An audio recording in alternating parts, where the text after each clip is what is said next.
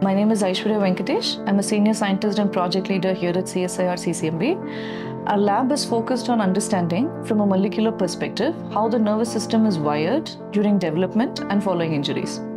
Why is this important? Uh, why should you care? The linchpin to our human experience is our ability to sense and respond to stimulus pretty much everything you do on a daily basis walking, running, talking, uh, moving, listening to me, breathing all of this is possible because of back and forth communication in the nervous system between the brain and the rest of the body. So, how is this achieved? The major cell type of the brain, neurons, they always stay put in the cortex, they're always fixed here. They send their messages through these thin cables called axons, which physically connect the brain and the rest of the body. So, for all these activities that I mentioned before, for that to properly happen, axons are ferrying signals back and forth between the brain and the body.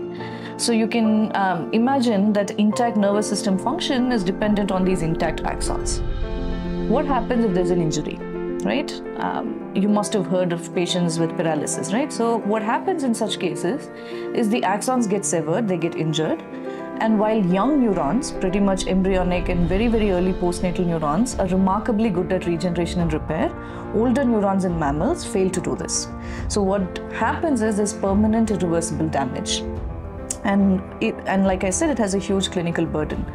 So, in the lab, we are interested in understanding how axon growth is coordinated at a molecular level during development, learn from that, and try to reconstruct the same pathways in an injured neuron to improve regenerative outcomes. We use mice as the model system, and spinal cord injury is our primary model of injury in the lab.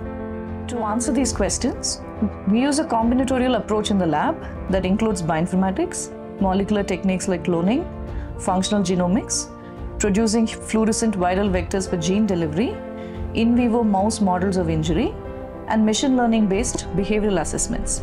As far as lab culture goes, we are an eclectic mix of people. We have a postdoc, two PhD students, project trainees, project associates, decities. We all come from different backgrounds and levels of experience, but we share one thing in common. We're all curious, driven, and are always working together towards our shared goal of understanding axon growth and regeneration in the nervous system. We are excited about the progress we've made so far and are looking forward to what the future holds. If you're a motivated, curious individual who enjoys working in a hierarchy free environment, our lab might be a good fit for you. We're always looking for passionate people to join our expanding crew, and we believe that diversity is our strength. Do check out our lab website for more details, and thank you.